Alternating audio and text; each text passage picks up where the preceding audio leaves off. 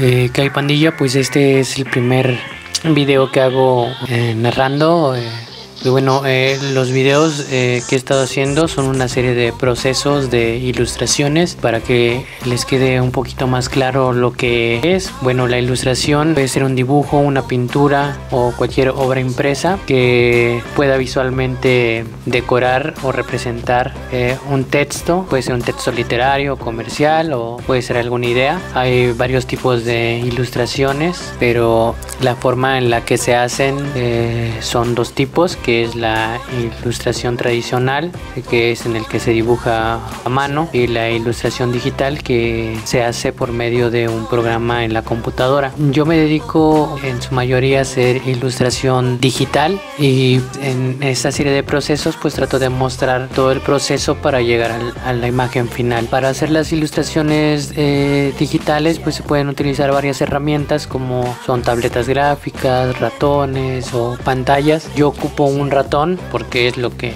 tengo y es con lo que hago las ilustraciones. Para hacer la ilustración digital nos podemos basar también en un boceto o hacerlo directamente los trazos en el programa. No hay que confundir la ilustración digital tampoco con digitalizar una imagen o corregir algún dibujo que ya tengamos por medio del programa. Pues la ilustración digital es crear en el programa todo el dibujo o la imagen y también podemos basarnos a partir de un boceto, pero solamente basarnos en él sin cambiarle pues nada, haciéndolo todo en el programa. Las ilustraciones digitales se hacen a partir de vectores o de píxeles, ya independientemente del programa que nosotros ocupemos. Yo por ejemplo lo hago en el programa Illustrator y es en el que mejor me acomodo, ¿no? La ilustración que voy a hacer ahorita fue basada en varios apuntes que hice viendo un documental eh, en donde aparecían varios animales. Mm, Básicamente el boceto o la ilustración va a ser un niño sobre una ballena, abrazando a la ballena. Vamos a empezar haciendo todo el trazo basándonos en el boceto para después colorearlo en el programa y así poder obtener la imagen final. Espero esta información les haya servido y que puedan seguir viendo los videos de procesos. Si les agrada algo, tienen alguna duda, pueden preguntarme. Con mucho gusto se las voy a responder. Pues a ver si les gusta el video y pues vamos a hacer el trazo del